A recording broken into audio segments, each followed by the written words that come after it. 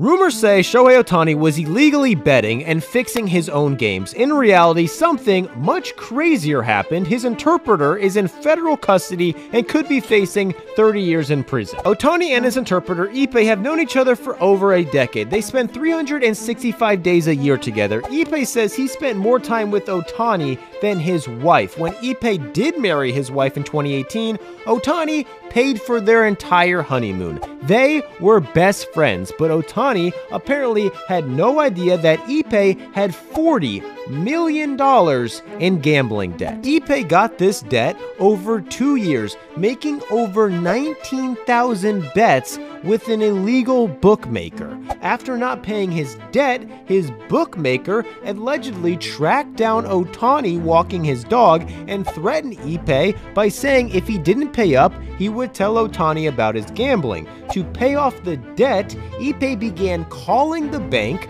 pretending to be Shohei and stole the money from Ohtani's account. Otani had financial advisors, but they didn't speak Japanese. They could only talk to Shohei through Ippei. So Ippei lied and told the advisors Ohtani had denied them access to the bank account to prevent anyone from seeing how much money was missing. In total, Ippei allegedly took $16 million from Ohtani's account. Also buying around 1,000 baseball cards worth around 325 grand. This is all according to a complaint filed by the federal government. Ippei has turned himself in and if convicted could face 30 plus years in prison.